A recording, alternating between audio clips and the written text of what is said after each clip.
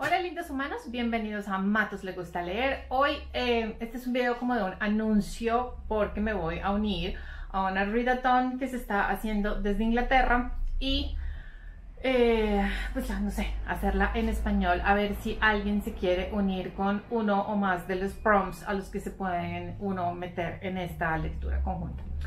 Eh, esto es hashtag transgirl eh, April, es decir, chica trans en abril, y la idea es leer a autoras, autores y personas no binarias durante el mes de abril.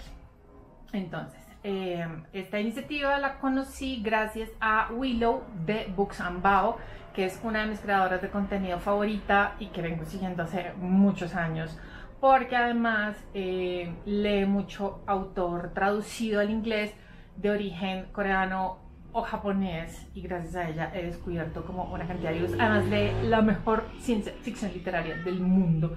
Tengo una larga lista de libros a conseguir, eh, porque además, claro, son traducciones que se hacen en Inglaterra y que no son tan, a veces tan fáciles de conseguir en los Estados Unidos, entonces tengo una gran lista de libros recomendados por Willow y gracias a ella conocí a la, digamos, coorganizadora o con, a quien Willow está acompañando en esta lectura ahora, que es Seskevi y que también es una creadora trans. También obviamente les voy a dejar la lista de sus canales abajo en la caja de descripción.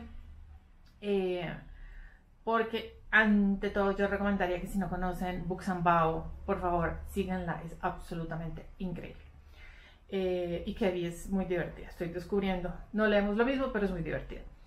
Entonces, empecemos con los retos de esta ridatón. El, reto cero, que es, digamos, la base con la que arranca esto, es em, denunciar el fascismo. Eh, la extrema derecha está cada vez más atacando eh, a grupos marginales y está empezando por la comunidad trans, que claro, es una comunidad minúscula, chiquitica, sin dinero, em, y por ahí empiezan los ataques y créanme, cuando el fascismo empieza por un lado, viene el resto. Entonces, eh, el primero es ser activo en redes sociales, denunciando el fascismo y apoyando a la comunidad trans. El siguiente es, para eso hay un bingo, un bingo, em, donde están eh, como las lecturas. La idea es leer a una autora trans, a un autor trans eh, y a un autor que se, que se identifique como persona no binaria. Y la idea es leer uno de cada uno en ficción, no ficción y literatura de género. Literatura de género es todo aquello que está en esa gran categoría que a mí me encanta, donde está la ciencia ficción, la fantasía, cosas que no me gustan tanto, como el horror, el weird, en fin, ya entienden. Eh, y hay un bono, un reto bono, que es eh, apoyar económicamente a un creador que haga parte de, creadora o creadores la, que haga de la comunidad trans, porque obviamente para ellos eh, y ellas y ellas no es fácil ni conseguir buenos empleos, ni bueno. Todos sabemos lo que le pasa a las minorías y más si son minorías racializadas, como pasa en América Latina. Entonces, este bono es apoyar económicamente a un creador trans.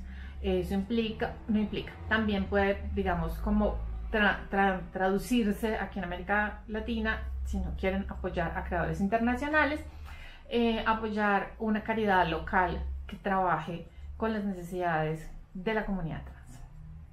Eh, este video es súper cortito porque es solo para hacer como el anuncio de que la, la lectura va a estar, que va a ser en abril. Y ya cerca a abril, pues ya eh, haré un TBR porque con las eh, autoras trans no tengo problema, tengo varias. Eh, con los autores trans también estoy check. Sorprendentemente estoy muy bien con autores que se identifican como personas no binarias en, la categoría de literatura de género. Pero en ficción como tal o en no ficción, pues estoy hoche no tengo casi, o sea, me toca sentarme a revisar muy bien qué tengo, sobre todo que tengo en digital, a ver, y empezar a buscar, sobre todo en no ficción, que es el más complejo en mi caso. Eh, pero de momento eso es todo, es un video súper cortito para decirles que la radiotón existe y que ojalá se nos unan en abril. ¡Chao!